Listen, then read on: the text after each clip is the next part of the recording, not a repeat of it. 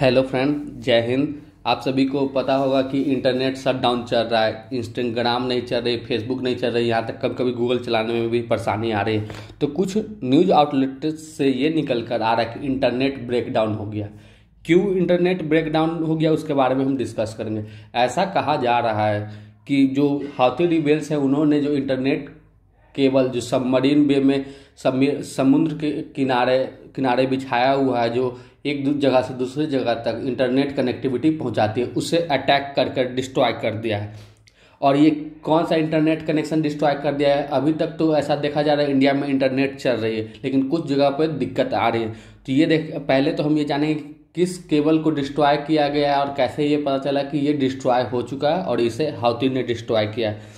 तो सबसे पहली बड़ी बात है कि इंटरनेट केबल का ब्रेक डाउन चल रहा है, लेकिन इन्होंने जो अटैक किया है, कौन सा केबल इसमें डैमेज हुआ है? तो अमूमन बहुत सारे न्यूज़ आउटलेट तीन बता रहे हैं और कुछ चार बता रहे हैं। चार बताने वालों में से सिर्फ़ एक ही है टाइम्स मैगजीन जो अमेरिका की प्रमुख मैगजीन है, वो बता रही है। लेकिन बहुत सारे, जैसे टाइम्स ऑफ़ इंडिया हो गए अदर अल जजीरा हो गया, ये सब जो बोल रहे हैं, वो तीन इंटरनेट केबल के बारे में बता रहे हैं कि उनको डिस्ट्रॉय कर दिया गया है हाउतीज के द्वारा रिबेल ग्रुप के द्वारा। तो उसी को हम सबसे पहले देखते हैं कि जो ये तीन डिस्ट्रॉय हुए हैं, वो तीन कौन है?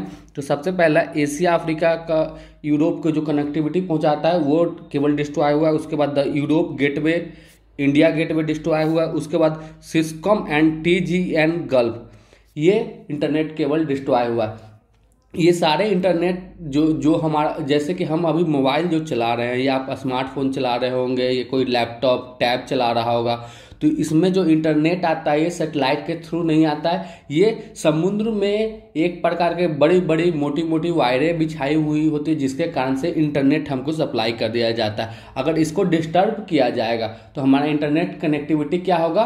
इन डिसफंक्शनिंग करने लगेगा प्रॉपर वे में नहीं चलेगा। जैसे कि अभी आप न्यूज़ में सुन रहे होंगे, या आप ट्विटर चला रहे होंगे फेसबुक चला रहे होंगे, या इंस्टा चला रहे होंगे तो आपके पास ये जानकारी आ चुकी होगी कि ब्रेक डाउन हो चुका है। इंटरनेट का अच्छे से नहीं चल पा रहा है आप रील्स को अपलोड अच्छे से नहीं कर पा रहे हैं स्ट्रीमिंग नहीं कर पा रहे हैं वीडियो का तो इस कारण से ये ब्रेक डाउन चल रहा है। जिसका हाउती ने अटैक कर दिया है, जिस कारण से ये ब्रेकडाउन देखा जा रहा है। सबसे पहला जो ब्रेकडाउन देखा गया था, वो जिबूती देश में देखा गया था 24 फरवरी को। ये अभी तक डिस्क्लोज नहीं किया गया है कि किस तारीख को, किस समय पर हाउती ने इसे अटैक किया है। लेकिन सबसे पहला जो इंसिडेंट देखा गया था, जिबूती में देखा गया था चौबीस फरवरी को। उसके बाद ये अटकलें लगाई जा रही है कि बताया जा रहा है कि ऐसा हुआ है। तो जितने सारे भी रेड सी से होकर गुजरते बेसिकली ये बात माना जाता है कि जो रेड सी हमारा है, वहाँ से जो इंटरनेट कनेक्टिविटी का जितना ट्रैफ़िक वो 25 परसेंट एरिया को मतलब कि परसेंटेज कवर करता है। मतलब कि जितने केबल्स हैं, जितना इंटरनेट पूरे वर्ल्ड में प्रोवाइड किया जा रहा है, अगर हंड्रेड कंट्री को प्रोवाइड किया जा रहा है तो रेड सी के द्वारा जो इंटरनेट केबल गया हुआ है, वो ट्वेंटी कंट्री को एटलीस्ट इंटरनेट कनेक्टिविटी की सुविधा उपलब्ध करवाता है। लेकिन इस क्षेत्र में हम देखेंगे तो ये हम जाते हैं कि रेड सी जो है एक क्रिशियल रोल प्ले कर रहा है किस चीज़ में? डाटा ट्रांसमिशन करने में। जैसे कि इंटरनेट में क्या होता है कि आप यहाँ बैठे हुए हैं, किसी भी साइट के बारे में आपको अगर येलो स्टोन नेशनल पार्क के बारे में पता करना है कि अमेरिका में येलो स्टोन नेशनल पार्क में क्या है, कौन से जानवर रहते हैं, किस लिए उसका नाम येलो स्टोन नेशनल पार्क हो तो आप मोबाइल निकालिएगा, खटाखट गूगल कीजिएगा, गूगल भैया से पूछेगा कि येलो स्टोन नेशनल पार्क के बारे में बताइए, वो झट से आपको येलो नेशनल पार्क के बारे, स्टोन नेशनल पार्क के बारे में बता देंगे। आप वहाँ नहीं भी जाइएगा, आप उसकी वीडियो देख सकते हैं, उसके बारे में ब्लॉग पढ़ सकते हैं, उसमें कौन से जानवर रहते हैं, कौन सा फ्लावर है, किस लिए वो प्रसिद्ध है, अमेरिका में कहाँ पे है, ये सब आपको पता चल जाएगा। तो रेड सी बेसिकली जो कनेक्टिविटी प्रोवाइड करता है, किसके लिए? डाटा ट्रांसमिशन के लिए। अब हम देखते हैं क्या अमेरिका कनाडा और क्या रसिया में भी ब्रेक डाउन है कि या सिर्फ़ एस, एशिया में तो इंडिया में भी ब्रेक डाउन नहीं देखा जाता। तो ये जो ब्रेक डाउन जो हुआ है इंटरनेट का वो बेसिकली एशिया टू यूरोप हुआ है। मतलब कि बेसिकली ये देखा जा रहा है कि अफ्रीका कुछ देशों में हुआ और जो एशिया से इंटरनेट यूरोप के बीच में कनेक्टिविटी जैसे बहुत जैसे यहाँ पे कहा जा रहा है Asia to Europe break down हुआ है तो तो आप कहेंगे अरे Asia to Europe break down होते इससे क्या होता है? जैसे कुछ होते हैं कि यूरोप में कुछ साइट बनी हुई है, उसके बारे में अगर आपको इन्फॉर्मेशन एशिया के किसी देश यानी मान लीजिएगा आपको नेपाल से कोई एप्लीकेशन बना हुआ है। कोई साइट्स पे आप जाते हैं, यूरोप के कोई साइट पे, ऑस्ट्रेलिया, ऑस्ट्रिया के कोई साइट पे जाते हैं, जो ऑस्ट्रिया में साइट बना हुआ है। वो नेपाल में बैठे कोई देख रहा है। तो वो साइट को आप प्रॉपर यूज़ नहीं कर पाएँगे। तो ये सारे होते हैं, क्योंकि हर जो कंट्री में, जैसे कि मैं यहाँ इंडिया में बना हूँ तो मैं जैसे कि ये बना रहा हूँ वीडियो अगर मैं इंडिया के किसी केरला से हूँ तमिलनाडु से तो मैं इंडिया से इसको डाटा को अपलोड कर रहा हूँ। अगर यहाँ पर ब्रेक डाउन हो तो मैं डाटा तो अपलोड कर नहीं पाऊँगा। और मेरा जो एक सब्सक्राइबर होगा, वो अगर बैठा हुआ है नीदरलैंड में तो वो किस प्रकार से मेरा वीडियो देख पाएगा? नहीं देख पाएगा। क्यों? क्योंकि यहाँ पर तो इंटरनेट का शटडाउन चल रहा है और मैं जब वीडियो को अपलोड करने जा रहा हूँ यूट्यूब पर तो ये वीडियो तो अपलोड हो ही नहीं पा रहा है तो वहाँ का जो सब्सक्राइबर बैठा हुआ, वो कैसे देख पाएगा? वो तो इंतज़ार कर रहा होगा, अरे, इनका वीडियो आया एकाग्रता का, मैं देखूँगा सबसे पहले। इन्होंने तो बहुत अच्छा समझाया। तो ये तो अभी तक नहीं हो सकता। इस प्रकार से इंटरनेट ब्रेकडाउन चल रहा है। अब हम देखते हैं कि ये ब्रेकडाउन का जो ये थ्योरी बताया जा रहा है, ये क्या सही में ब्रेकडाउन हुती रिबेल्स इतने पावरफुल हो गए कि वो इंटरनेट को डैमेज पहुँचा सकते हैं। उसी के बारे में हम डिटेल डिस्कस करेंगे। माइनर नहीं, थोड़ा सा हम दूध का पानी, दूध और पानी करने की कोशिश करेंगे। देखिए, ये एक इमेज में मैंने शो किया है कि कैसे इंटरनेट केबल गया हुआ है। ये जितने सारे आपको वायर्स दिख रहे हैं, ये सारे इंटरनेट वायर्स हैं। ये क्या करते हैं? इंटरनेट कनेक्टिविटी पहुंचाते हैं। देखिए, ये यूरोप से इधर से रेड सी से होकर ये इधर इंडिया में आए हुए हैं। पाकिस्तान को ये कनेक्टिविटी पहुँचा रहा है, ईरान को पहुँचा रहा है, ओमान को, यूएई को, इधर इंडिया के लिए भी गए हुए हैं। तो इसी सब में से कोई तीन केबल है जिसको डिस्ट्रॉय कर दिया गया है हाउती रिबेल्स के द्वारा। तो अभी तक ये जो एड्रेस हुआ था, बस किसने एड्रेस किया? टाटा कम्युनिकेशन ने।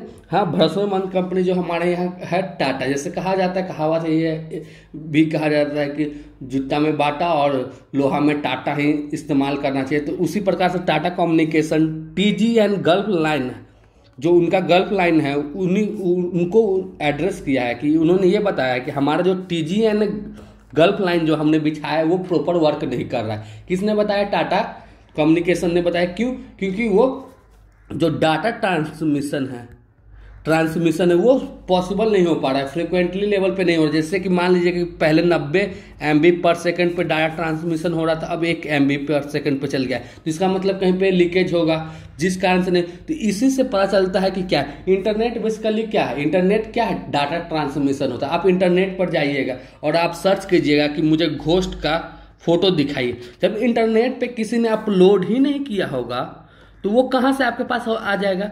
या आप कहिएगा कि मेरे बाजू मेरे बाजू वाले भैया का इंस्टा इंस्टा आईडी दिखाइए, वो किससे चैट करते हैं। अगर उनका आईडी होगा इंस्टा पे, तब वो ना आप देख पाएँगे। तो ये क्या है? डाटा ट्रांसमिशन बेसिकली होता है। तो यही सब जो वायर होते हैं, वो डाटा ट्रांसमिशन करते हैं। ठीक उसी प्रकार से, जैसे हमारे घर में इलेक्ट्रिसिटी होता है वायर के थ्रू वो बहुत सारे रूम में होता है। जैसे कि मेन इलेक्ट्रिसिटी हमारा एक, जहाँ पे जो मॉनिटर होता है कनेक्ट करता है, सारे इलेक्ट्रिसिटी को, वहाँ पर इलेक्ट्रिसिटी उसके बाद वो डिफरेंट वायर से प्रत्येक जो रूम है किचन है बाथरूम है डाइनिंग रूम है, यहाँ तक भेजा जाता है। ठीक उसी प्रकार से क्या किया जाता है? इंटरनेट को भेजा जाता है, इन लाइनों के द्वारा, इन वायरों के द्वारा। तो इन्हीं कम्युनिकेशन केबल को डिस्ट्रॉय कर दिया गया है हाउथी रिबेल्स के द्वारा। और जो यमन की गवर्नमेंट है, जो अभी यमन की गवर्नमेंट है, जो एग्जाइल में अभी यमन की जो गवर्नमेंट है एग्जाइल में, उन्होंने ये भी कहा है और साथ में ब्रिटिश मिलिट्री के जो हेड हैं, उन्होंने ये वार्न किया है कि जो हाउती हैं, ये और अटैक करेंगे रेड सी में। तो बेसिकली रेड सी में कितने केबल गए हुए हैं कि वो और अटैक करेंगे? तो बेसिकली अभी रेड सी में फोर्टीन ऐसे केबल्स हैं जो रेड सी से क्रॉस करके गए हुए हैं। छः प्रपोज है कि मतलब छः अभी और लगाए जाएँगे। चौदह केबल गए हुए हैं, फोर्टीन केबल गए हुए हैं जो एशिया, यूरोप का कनेक्टिविटी रखता है, कुछ अफ्रीका से भी कनेक्टिविटी रखता है। तो ये कनेक्टिविटी है तो इसी में से तीन को क्या किया गया हाउती के द्वारा डिस्ट्रॉय कर दिया गया तो ये कौन करें? यमन में जो एग्जाइल यमन में अभी क्या है? हाउती रिबेल हाउती जो रिबेलियंस है, उन्होंने यमन देश पे कब्जा कर ले। वहाँ का जो जो गवर्नमेंट वो भाग चुके हैं। कहीं विदेश में जाकर वो गवर्नमेंट चला रहे हैं। तो वो एग्जाइल कहलाते हैं और ब्रिटिश मिलिट्री है, उन्होंने भी कहा है कि पॉसिबल है कि हाउथी अटैक कर सकता है फिर से।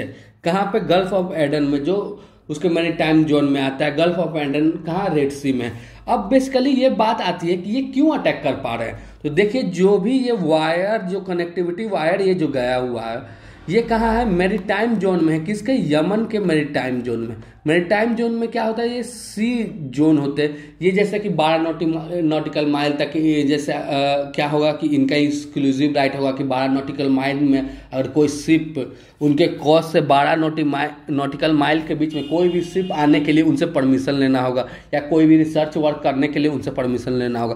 तो यहाँ से जो वायर गया हुआ है अगर इन्हें कोई ठीक करने भी जाता है तो क्या यमन के रिबेलियन से हाउती जो है उनसे परमिशन लेना होगा? नहीं तो वो क्या करेंगे? अटैक कर देंगे। जिस कारण से अभी तक किसी ने जाकर देखा भी नहीं सिर्फ़ टाटा ने टाटा कम्युनिकेशन ने ये एड्रेस किया है कि ऐसा हो, हो चुका है।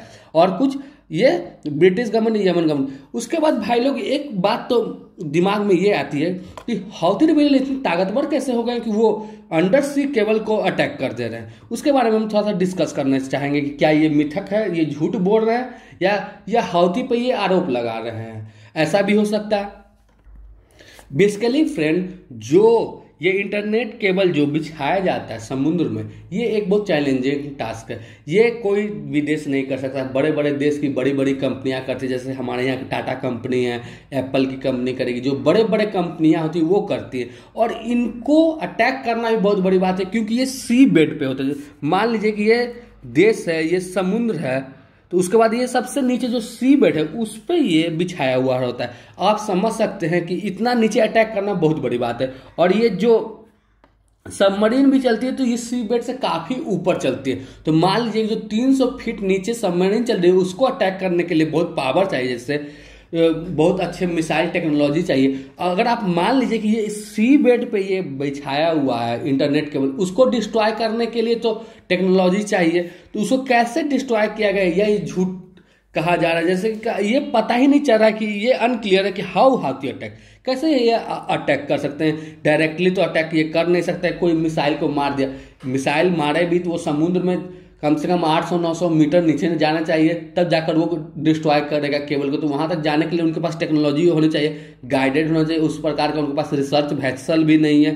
तो ये सिर्फ़ केबल को कैसे डिस्ट्रॉय कर दिए? ये कैसे, इनके पास कब होगा ऐसा ये डिस्ट्रॉय कब कर सकते हैं? उनके पास एंकर सिर्फ़ होना चाहिए, जिसमें पोटेंशियल है कि वो क्या करते हैं? डीप नीचे जा सकते हैं डीप में जाकर इस प्रकार के वर्क को कर सकते जैसे कि क्या होता है कि जब ये वायर बिछाया जा रहा है तो बहुत डीप सबमर सबमरीज होती है, जो सिप होती है, वो बहुत अंदर तक की गहराई में जाकर ये केबल को बिछा देती तो इस प्रकार का टेक्नोलॉजी चाहिए। तो ये टेक्नोलॉजी तो हमें नहीं लग रहा हाउती के पास अभी तक आया है, और आ भी गया तो पता भी न चले। तो लेकिन यहाँ पर हाउथ क्या सबसे बड़ी बात है कि हाउती पर यूएस यूके और इनके एग्जाइल गवर्नमेंट है, वो आरोप लगा रहे हैं कि हाउती ने ऐसा अटैक किया है। लेकिन हाउती जो है, ये अटैक कह रहे हैं कि जो यूके और यूएस का जो उन पर अटैक हुआ था, उसी में से कुछ मिस फायर होकर मिसाइल जाके इंटरनेट केबल को डिस्ट्रॉय किए या इनका कोई साजिश है हमें बदनाम करने का पूरा दुनिया में। तो भाई लोग, हम नहीं जानते हैं कि ये किन की साजिश है। हाउथी ने ऐसा किया है या यूएस यूएस और यूके की बात है। लेकिन एक बात तो सब जानते हैं कि इंटरनेशनल कम्युनिटी में उसी का बोलबाला चलता है जिसके पास स्ट्रेंथ पावर हो। पावर के बल पे लॉजिक को सही कर लिया जाता है। सभी को देखते हैं कि यू यूएन में किसकी चलती है? यूएस की चलती है। अब हम यूएन के बारे में कुछ बात करेंगे। फ्रेंड्स देखते हैं यूएन के बारे में हम क्या बात करना चाहते हैं। तो फ्रेंड बात करते हैं हम यूएन की कि यूएन अभी कहाँ है? वेयर इज़ यूएन क्योंकि यूएन की तो स्थापना 1945 में हुई थी। किस लिए? कि ये विश्व में जितने सारे मैटर है, उसको सॉल्व करेगी जो विश्व में अगर लड़ाई कहीं, झगड़ा चल रहा है, कुछ ऐसी परिस्थिति आ गई जिससे बहुत सारे देश उलझन में हो जाए, जैसे कि वर्ल्ड वार फिर से ना हो। वर्ल्ड वार क्या हो? फिर से ना हो, जैसे कि देश ने पूरे विश्व में पहला वर्ल्ड वार देखा सेकेंड वर्ल्ड वार देखा। काफ़ी विध्वंसक था। ऐसा वर्ल्ड वार नहीं वर्ल्ड वार थर्ड ना हो, इसलिए यूएन वन तो यूएन यहाँ पर कहाँ है? समझ में नहीं आ रहा क्योंकि पच्चीस परसेंट से ऊपर इंटरनेट कनेक्शन कहाँ से रेड सी से होकर जाती है? इंटरनेट कनेक्शन इंडिया, यूरोप का इंटरनेट कनेक्शन अच्छे से वर्क नहीं कर रहा है। तो ये बहुत सारे यूरोप और एशिया, इंडिया में कह रहा हूँ एशिया में बहुत सारे देश हैं तो लगभग पचास साठ देशों को ये प्रभावित कर रहा है। तो अभी यूएन कहाँ है? ट्रेड रूट जो स्वेज कनाल से होकर चल रहा था, वो अब टेन परसेंट ही रह गया क्योंकि अब सिर्फ़ उधर से नहीं जा रहे। तो यूएन इस स्थिति में कहाँ है? क्योंकि यूएन की तो ज़िम्मेदारी थी ना कि वो अगर बहुत सारे देशों के रिलेशन को खराब करता है, कोई एक देश तो उस पर वो एक्शन लेगा। तो यूएन इस स्थिति में कहाँ है? क्यों? ऐसा नहीं लग रहा है कि यूएन यूएसए का कुछ लगू बन गया है जो यूएसए कहेगा उसके बारे में। यहाँ पर यूएन को सामने आना चाहिए था, ये बताना चाहिए था कि क्या प्रॉब्लम है हाउती क्यों अटैक कर रहा है हाउती वाले को समझाना चाहिए। तो हम इससे ये देख सकते जैसे कि इंडिया ने एक प्रस्ताव डाला था कि अगर पाँच यूएन का वीटो मेंबर्स हैं, वो अगर किसी पे वोट कर देते हैं अगेंस्ट में, लेकिन जो नॉन वीटो पावर देश हैं, लगभग 140 के करीब, अगर वो फेवर में वोट कर देते हैं तो वो ओवर राइट कर देंगे पाँच वीटो पावर देश को। लेकिन ये भी अभी यूएन में सुधार नहीं हुआ तो यूएन एक डिसफंक्शन ऑर्गेनाइजेशन हो गया। तो दोस्तों, आप लोग कमेंट में बताइए, क्या यूएन आज के देश में कोई रोल प्ले कर रहा है सही से? कोविड में भी हमने वही देखा। और हाउती के बारे में आप कमेंट करके बताइए कि हाउती एक रिबेल ग्रुप है। वो कैसे माइटी यूएस को चैलेंज कर रहा है? यूएस को सुपर पावर कहा जाता है, जिसको चैलेंज अभी एक दो दिन पहले उन्होंने यूएस की शिप को डुबा दिया कार्गो शिप इसराइल की कार्गो शिप को डुबा दिया यूके के कार्गो शिप को डुबा दिया। तो हाउती कैसे अमेरिका के को चैलेंज कर रहा है, उसके बारे में हम, मैं जानने की कोशिश करूँगा कि आप क्या सोचते हैं कमेंट में बताइएगा। और अच्छा लगा हो तो लाइक कीजिएगा और सब्सक्राइब कीजिएगा क्योंकि इससे इससे हमारा मोटिवेशन बनता रहता है। और इसी प्रकार का हम जो करंट अफेयर करंट जो चलती रहती करंट की दुनिया में जियो पॉलिटिक्स घटनाएँ जो हमारे नॉलेज को और वृद्धि देती है, क्योंकि इस प्रकार की नॉलेज जानना हमें ज़रूरी है, क्योंकि एक स्वस्थ मस्तिष्क मस्तिष्क के लिए देश, दुनिया में क्या हो रही है, उसके बारे में हमेशा जानना चाहिए। और आप एक नॉलेजेबल पर्सन है, और आप सभी को ये जानना आवश्यक है। तो आज के लिए इतना ही। दोस्तों, विदाई लेते कोई कुछ इंटरनेशनल इवेंट फिर से होता है, या इंडिया में कुछ बड़ी इवेंट होती है तो मैं वापस आऊँगा। एकाग्रता विद्यापीठ में और उसके बारे में डिटेल आपको डिस्कस करना चाहूँगा। आज का था हाउथी ने अटैक कर दिया ब्रेकडाउन में। लेकिन अभी तक ये कंफर्म नहीं हुआ कि हाउथी ने ज़िम्मेदारी नहीं ली है जैसे कि उन्होंने यूएसए के सिर्फ़ पे अटैक किया तो उन्होंने ज़िम्मेदारी ली कि मैंने अटैक किया। लेकिन अभी तक हाउथी ने ज़िम्मेदारी नहीं ली है, उन्होंने बोला कि हमने नहीं अटैक किया है, यूएसए और यूके ने अटैक किया और यूएसए, यूके और यमन के एग्जाइल में जो गवर्नमेंट है वो करेंगे हाउथी ने अटैक किया। तो आज के लिए इतना ही। आप कमेंट में बताइएगा किसने अटैक किया। Thank you